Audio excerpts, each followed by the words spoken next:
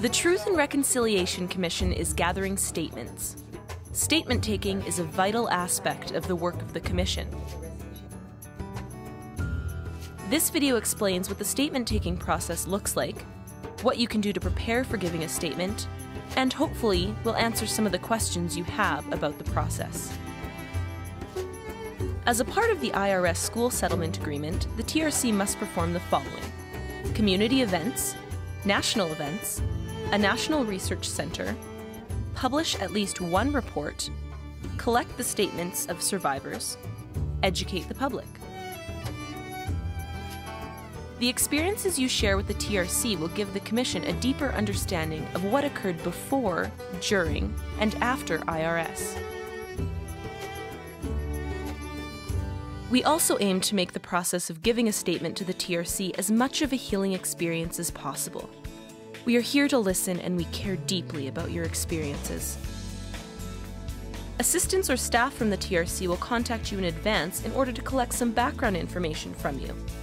This will include your name, schools that you attended, your community or nation, and your date of birth. This may happen on site or may happen over the phone. You will also be asked how you want your statement recorded. The TRC is able to audio record or video record your statement. This conversation will also encourage you to think about a few key items you wish to speak about. The interviewer and you will discuss some sample questions that may be helpful. When it's time to record your statement, you'll be introduced to both your statement taker and the health support, who will work together with you while you're giving your statement. Before the interview starts, you'll be asked to fill out a consent form. This consent form is a very important document. The form establishes how much you wish the public to see your interview, and it is up for you to decide what this level is. The Health Canada registered health support worker can assist you if you need any emotional support during the interview. Becoming emotional during the interview is a natural part of this process for some people. The statement gathering team is there to support you as you give your statement. You're also more than welcome to bring a support person into the statement gathering with you. This support person may be a friend, elder, or relative, or anyone else you choose. Once you've settled in, the statement gathering team will start the appropriate recording equipment.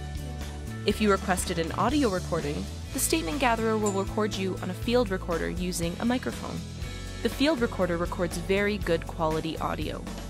If you choose a video recording, the statement gatherer may be accompanied by a video technician. Together, they will record you using a high quality video camera. Some lighting will also be used to make sure the recording looks excellent. The recording team will work to make sure you're comfortable during the recording process. Some beverages, light snacks, and tissues will be available to you during the interview. At the end of the recording, the statement gatherer will provide you with a copy of your statement. Once you have given your statement to the TRC and have received a copy of your statement, your statement, the field notes from the interview, and the pre interview form will be entered into our secure database. Our intake staff will carefully note what you stated in your interview and ensure that the level of consent you chose is protected. The TRC research team will then use your statements to inform the TRC report. The TRC will create a national research center which will hold the entire work of the TRC. This center will be a place for Canadians and global citizens to learn about and remember the truth behind Indian residential schools forever. I think this is a great chance for Canada to come clean about its history, to have a good hard look at it, to learn the lessons that need to be learned, and to go forward in a new way in dignity and respect. Huguma tapo na tsimon. Pego pego heina magoya tamina sta. Exe megwats oma. The Truth and Reconciliation Commission of Canada offers us one chance to build a better Canada, and this is it.